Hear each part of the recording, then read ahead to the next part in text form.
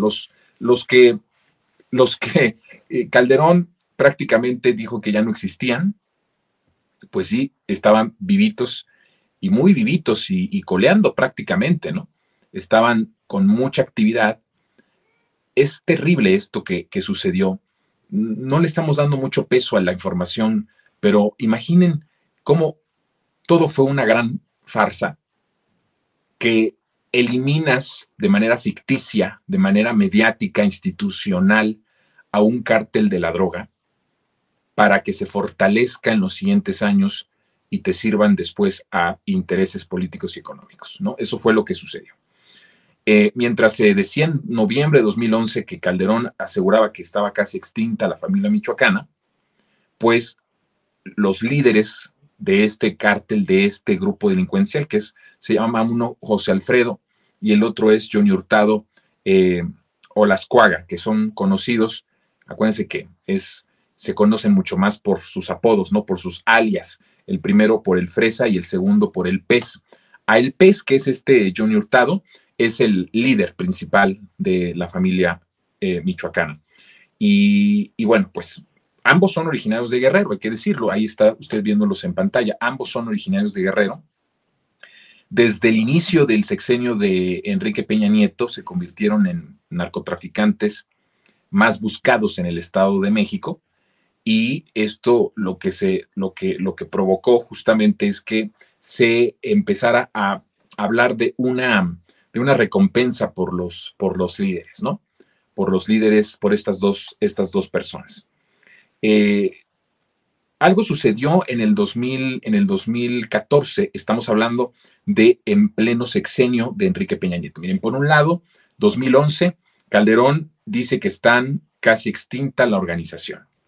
A principios del 2012, ya con un gobierno distinto, eh, hablando federal, eh, se habla de que aunque estaban debilitados, había dos líderes que eran importantes capturar, que son, si los podemos poner en pantalla, los líderes que, que les acabo de decir, ¿no? El fresa y el pez. Él es, él es el pez, me parece, el que, la primera imagen que vimos. Bueno, después, fíjense que en 2014 sucede algo que me parece fundamental para entender todo, esta, todo este análisis profundo de lo que está sucediendo con respecto al crimen organizado. Porque eh, hay en el 2014 una información que le llega a la Sedena.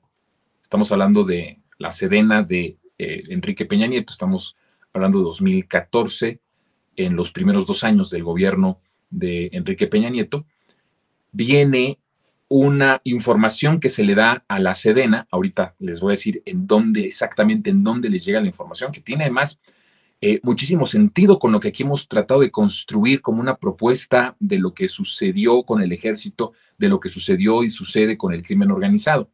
Y les llega la información en donde se les da la ubicación exacta de el pez, de el líder de la familia Michoacán.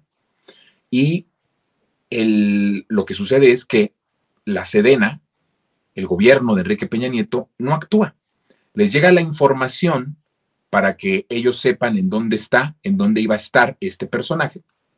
La Sedena no hace caso y el gobierno de Enrique Peña Nieto, pues, ignora la información de tal forma que, pues, hasta este momento, estamos, fíjense, estamos hablando 2014, hasta la fecha 2023, en, a principios de este año, de, a principios del 2023, me parece que fue por el mes de marzo, hubo un gran operativo de la Sedena, la Sedena de López Obrador, la Sedena de tiempos de la transformación, en donde estaban en busca y habían armado todo un gran operativo para justamente capturar a El Pez y a otros líderes de la banda criminal de esta organización de la familia michoacana eh, se les escapa, no lo, pudieron, no lo pudieron detener. Pero fíjense ustedes, desde 2014 habían mandado la información de un lugar específico, que además iba a ser un lugar pues prácticamente cerrado, en donde las posibilidades, si hacías un operativo de aire y tierra, eran cada vez mayores a poder capturarlo.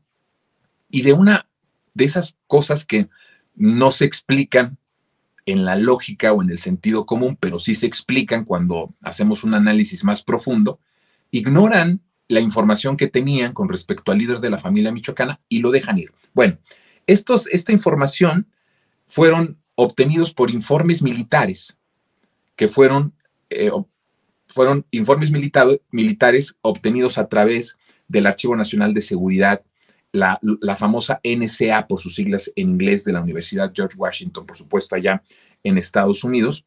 Y eh, en esta denuncia, justamente lo que se dice, porque más lo envían a través de un correo, de un, lo, envían a través de un, de un correo, le mandan un, un correo electrónico textualmente a quién, quién, quién, creen que, que recibió esta información. Pues la recibe justamente el Batallón 27 de Infantería en Guerrero, que está ubicado justamente nada más y nada menos que en Iguala, de la 35 zona militar que eh, tiene sede en Chilpancingo. Bueno, pues algo nos tiene que decir todo esto si tratamos de armarlo con lo que sucedería después con el caso de Ayotzinapa y justamente la posible participación de varias, de varias personas o varios integrantes del ejército de esta zona militar.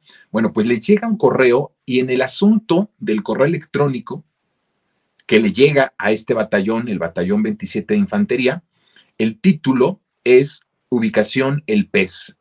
Yo, John Hu Hurtado o Las Cuaga. Así es como se les manda este correo. Y en, la, y en lo que decía el correo, exponían que el pez acudiría el 26 de abril de 2014 a una fiesta de 15 años en un poblado llamado El Potrerillo, ¿sí? El festejo habría eh, sido justamente en los límites de los municipios de Arcelia y Teloapan, y lo que les dice en este correo el informante es, me han informado que los pobladores de estas comunidades, así como Almoloya y los brasiles protegen mucho a este, a este delincuente porque los ayuda económicamente producto de los secuestros y extorsiones que hacen en otros municipios.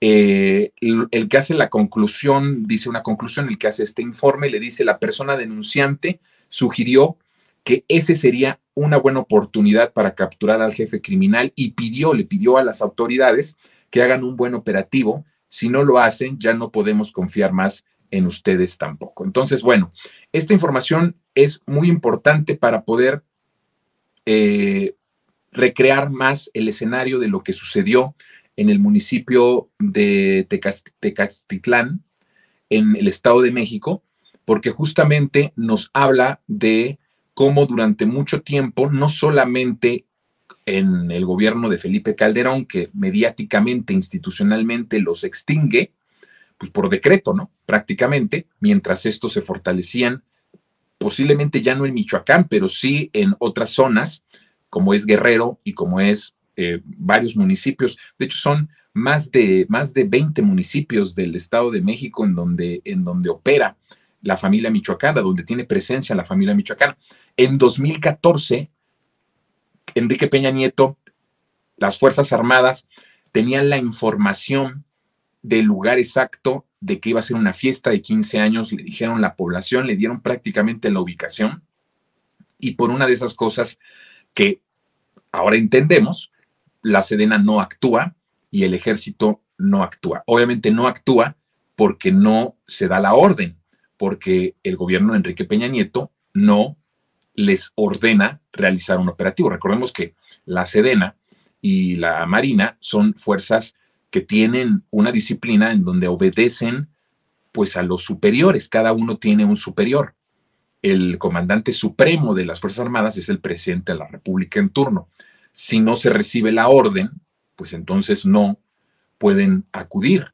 Si no se recibe la orden de un superior, el ejército no puede actuar y no puede hacer lo que tiene que hacer, ¿no? Entonces, ¿por qué sucedió esto? ¿Por qué por un lado, la extinción mediática institucional de Felipe Calderón, porque la negativa del gobierno de Peña Nieto de teniendo al personaje que se estaba buscando, dándoles la ubicación exacta, no se hizo absolutamente nada. Bueno, esto va confirmando, esta información que hoy les estoy dando, va confirmando lo que ayer y lo que hemos venido hablando aquí en Resentidos durante muchísimo tiempo, de cómo este grupo, estos grupos delincuenciales, trabajan de manera coordinada y abierta para el sistema político y económico que fue derrotado electoralmente en 2018 y que siguen operando porque ayer también les di el contexto de que en menos de dos semanas, en cuatro operativos exitosos, se capturan